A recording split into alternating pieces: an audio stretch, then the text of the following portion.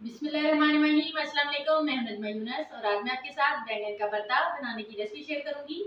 गर्मियों की बहुत ही स्पेशल रेसिपी है। इंशाल्लाह आपको बहुत पसंद आएगी। एक बार इसको ज़रूर ट्राई करें।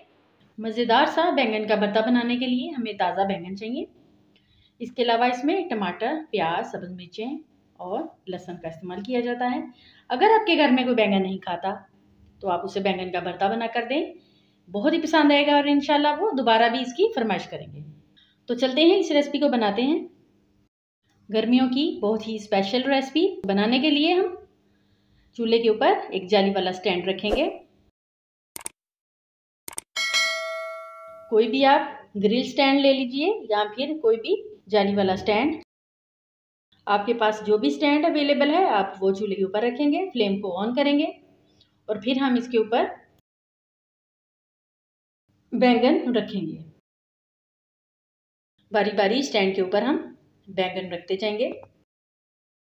फ्लेम हमारा मीडियम होना चाहिए, हाई नहीं होना चाहिए। हल्की आँच पर हम इनको पकाएँगे। तेज़ आँच पर पकाने से क्या होता है कि छिलका ऊपर से तो जल जाता है, लेकिन बैंगन अंदर से कच्चा रह जाता है। इसलिए हम इनको हल्की आँच पर पकाएँगे ताकि छिलका भी ऊपर से अच्छी तरह से रोस्ट हो जाए और बैंगन अंदर तक नरम हो जाए।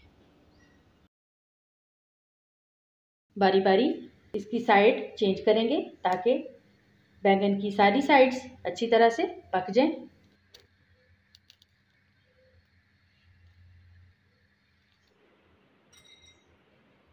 पाँच से छः मिनट तक हम ऐसे ही बैंगन की साइड्स चेंज करते रहेंगे।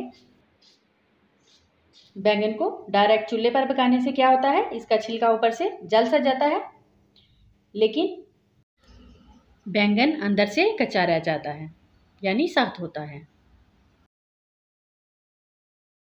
ये थोड़ा बड़े साइज़ का बैंगन है, इसलिए इसकी भी हम साइड चेंज करेंगे ताकि इसकी भी सारी साइड जो है अच्छी तरह से पक जाए। लकड़ी की आग या फिर कोयलों पर भी इनको भूना जा सकता है।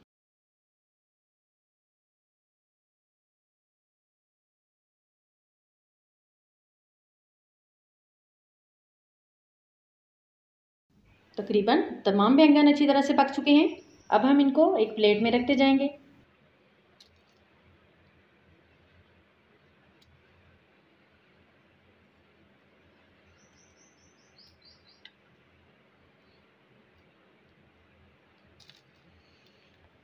और एक नाइफ़ की मदद से इनके छिलके उतार लेंगे।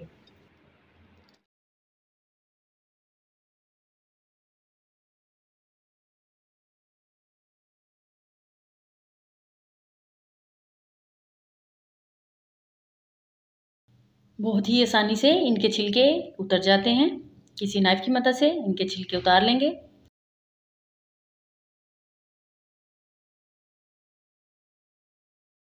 एक नाइफ की मदद से हम सारे बैंगन के छिलके उतार लेंगे और इनको एक साफ़ प्लेट में रखते जाएँगे। आग के ऊपर जब इसको पकाया जाता है, यानी कि इसको रोस्ट किया जाता है तो ये बहुत ही नरम हो जाता है। छुरी की मदद से ये आप इसको आराम से हल्का हल्का सा मैश करके उतारते जाएँगे।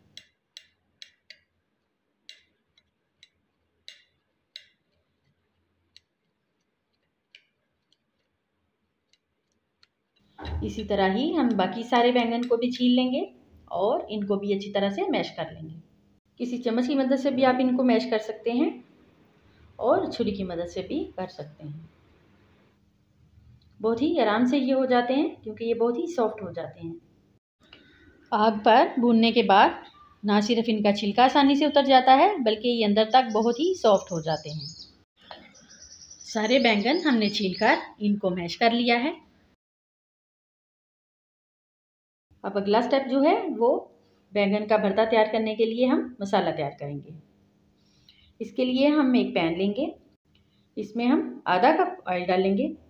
कोई भी वेजिटेबल ऑयल या घी जो भी आपके घर में इस्तेमाल होता है, आप वो डालें। घी हल्का सा गर्म हो जाए तो इसमें बड़ी कटी हुई दो दस दरमियानी साइज़ की प्याज डाल देंगे।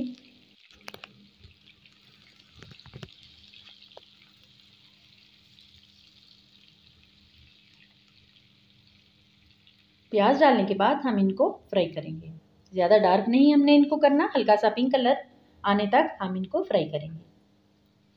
मीडियम फ्लेम पर हम इनको कुक कर रहे हैं। बैंगन का भरता गर्मियों की बहुत ही स्पेशल रेसिपी है, बहुत ही शौक से बनाई जाती है और बहुत ही मज़े की बनती है ये रेसिपी तंदूर की रोटी के साथ ये बहुत ही मज़े का लगता है।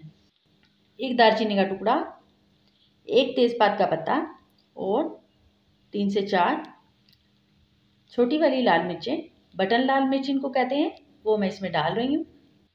वन टेबल स्पून लहसुन का पेस्ट, वो हम इसमें डालेंगे और इसको भी हम फ्राई करेंगे।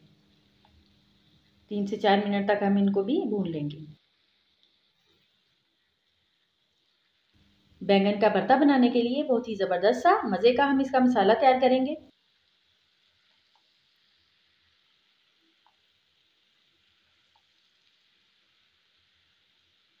थोड़ा सा पानी डालकर अब हम इसमें मसाले ऐड करेंगे।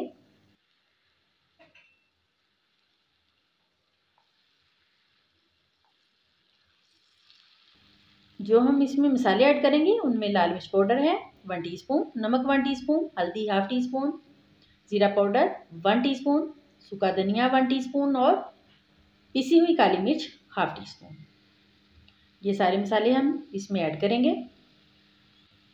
मसाले डालने के बाद हम स्पैचला की मदद से इसको हिलाएँगे और मसाले को अच्छी तरह से भून लेंगे।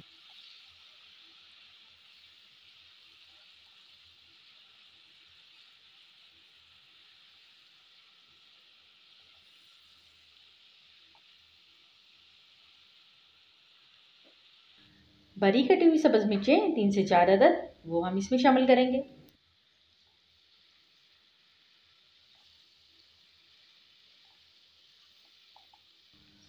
टमाटर, तीन अदद बारीक काट लिए हैं, वो हम इसमें शामिल कर देंगे। टमाटर के छिलके मैंने उतार कर फिर इनको काटा है, क्योंकि इसका बहुत ही स्मूथ सा मसाला तैयार किया जाता है। तो उसमें छिलके जो होते हैं, वो बिल्कुल भी हमें नहीं चाहिए। दो से तीन मिनट के लिए हम इसको ऊपर से कवर कर देंगे, ताकि टमाटर नरम हो जाएँ और मसाले के अंदर घुल मिल जाएँ।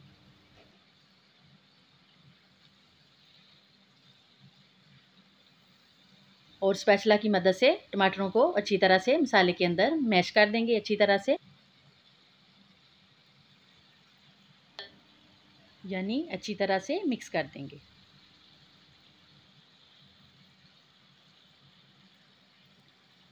तेज़पात का पत्ता मैं निकाल रही हूँ, क्योंकि मसाले में इसकी खुशबू जो आनी थी वो आ चुकी है। मसाला अच्छी तरह से तैयार हो जाए तो अब हम इसमें बैंगन शामिल कर देंगे, जिनको हमने आग पर भून कर छिलके उतार कर मैश कर लिया था। और इसको मसाले के अंदर अच्छी तरह से मिक्स कर देंगे।